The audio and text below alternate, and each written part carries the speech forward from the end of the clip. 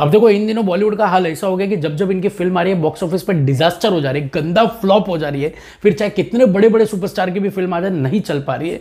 And दूसरी बात audience उसमें इंटरेस्ट दिखा ही नहीं पा रहे थे। एंड कितने लोग तो मना भी रहे थे कि साला धपा दो बॉलीवुड की फ़िल्में फ्लॉप हो फ्लॉप हो फ्लॉप हो फ्लॉप हो, ताकि वो लोग को भी व्यूज़ आ जाए, वो लोग की भी कमाई हो जाए। तो ऐसा कितने लोग मना भी रहे थे, और साले जितने लोग मना रहे थे, वही लोग जाके पहले थिएटर में देख के भी आते, भले वो फ्लॉप फ़िल्म तो क्या हुआ? तो वैसा भी था। एनीवेज क्या इस हफ़्ते भी बॉलीवुड का वही हाल होता है, जो होते आया है, उसके लिए रिव्यू पूरा देखना पड़ेगा।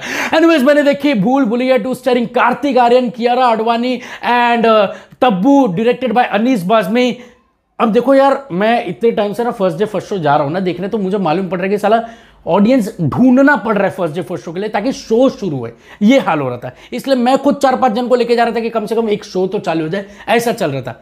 बट आज मैं शॉक्ड हूँ। मैं ये नोटिस कर रहा था कि अजय देवगन की रनवे 34 आई थी। ऑडियंस आए ही नहीं, सब रनवे हो गए थे। हीरोपंथी टू टाइगर श्रॉफ के लिए आए थे। ऑडियंस भी नहीं आए थे, सब चुतियापंथी में निकल के बाहर, लेकिन हीरोपंथी कोई देखने नहीं आया। फिर जयेश भाई जोरदार के लिए रणवीर सिंह की फ़िल्म थी। वहाँ पर भी जोरदार ऑडियंस गायब थी, कोई नहीं दिखा था। एंड जर्सी में लोगों ने बनियन पहनना पसंद किया, लेकिन जर्सी नहीं देखना पसंद किया था तो वो हाल हो गया था। लेकिन आज कार्तिक आर्यन ने शॉक कर दिया। यार थिएटर वॉज़ ऑलमोस्ट फुल इतनी कचाकच क्राउड थी एंड लड़कियाँ इतने थे जो कार्तिक आर्यन को देखने आए थे। आई I मीन mean, यार क्या ही स्टारडम निकला। मतलब यार वो बंदा सेल्फ मेड आया और सीधा भूज के चबाया एंड वैसा खाया भी।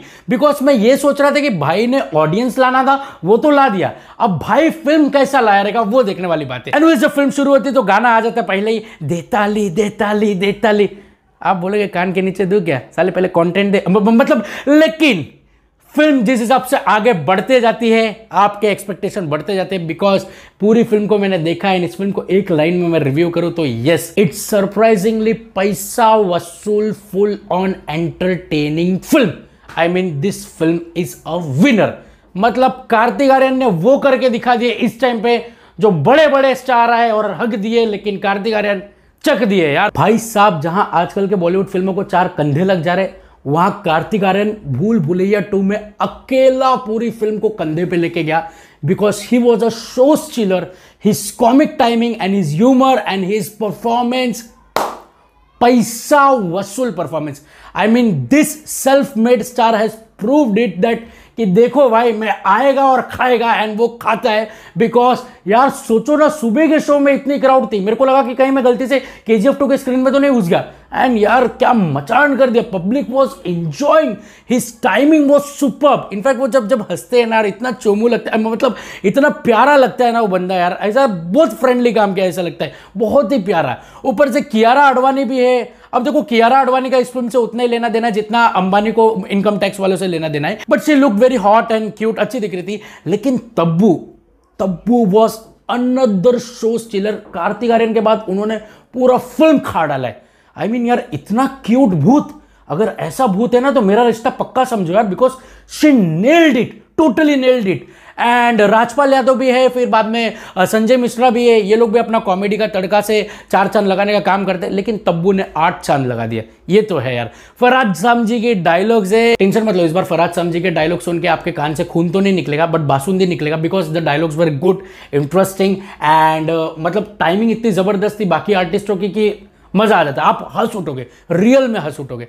एंड अनीस बाजमी से तो मैं ज़ीरो एक्सपेक्टेशन के साथ गया था उनकी फ़िल्म देखने, लेकिन भाई साहब, उन्होंने रॉन्ग प्रूव कर दिया बिकॉज़ उनका आज भी वेलकम वाला जादू जवान है जो भूल भूलिया टू में देखने मिलता है एंड इस सीक्वल को बचा लेता है। आई मीन यार, जो ऑडियंस को चाहिए था, वो ऑडियंस को मिलता भी है इस फ़िल्म के थ्रू एंड देखना इस फ़िल्म को बरपेट ऑडियंस मिलेगी बिकॉज़ शोज़ जाएँगे हाउसफुल और कमाएगी अच्छा खासा। कार्तिक का जलवा ही वैसा है यार। एंड दूसरी बात, इस फ़िल्म का स्टोरी एंड स्क्रीन प्ले जो है ना, वो काफ़ी एंगेजिंग है। ऐसा नहीं लगता कि यार थोड़ा लॉजिकलेस जा रहा है, ऐसा कुछ नहीं लगेगा। हालाँकि अनिस बाजमी की फ़िल्म वैसे साउंड करती भी लेकिन नहीं। यहाँ पर आपको ऐसा लगेगा कि यार माहौल बन रहा है। अच्छा माहौल बन रहा है इंटरेस्ट आ रहा है तो देखने में मज़ा आ रहा है। एंड क्लाइमेक्स जो है ना वहाँ पर कार्तिक आर्यन ने फाड़ा एंड तब्बू ने फाड़ा। एंड ऐसा फाड़ा कि क्लाइमेक्स वो वे में डिज़ाइन हुआ कि आप बोलोगे कि भाई साहब चलो यार यहाँ पर सिर्फ़ एक ही चीज़ को एक ही एलिमेंट्स को आ, इतना बड़ा नहीं दिखाने का कोशिश किया। यहाँ पर बहुत सारे चीज़ों को वो मीनिंग दिया वो वैल्यू दिया जो मैंने एक्सपेक्ट नहीं किया था।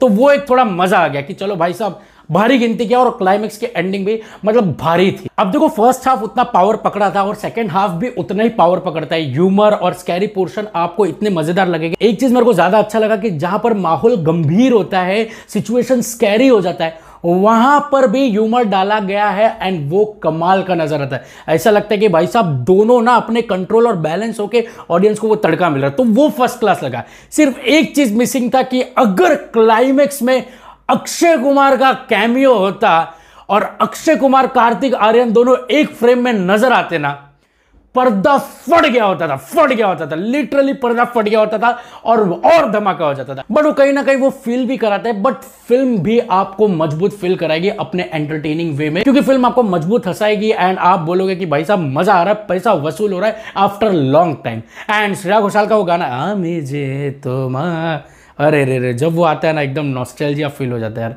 सुपर सुपर सुपर वो ना मतलब मज़ा आ जाता है। वो तड़का ही स्ट्रांग था एकदम स्ट्रांग था। So overall Bhool Bhulaiyaa two is a power packed entertaining film जिसको आप मिस नहीं कर सकते। अच्छा खासा एंटरटेन हो सकते फैमिली के साथ। एंड कार्तिक आर्यन जो कोई नहीं कर पाया वो आप करके दिखाया। मतलब पर्दा फाड़ दिए भाई साहब।